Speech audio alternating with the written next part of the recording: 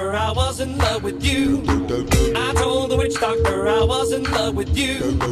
And then the witch doctor, he told me what to do. He told me, ooh,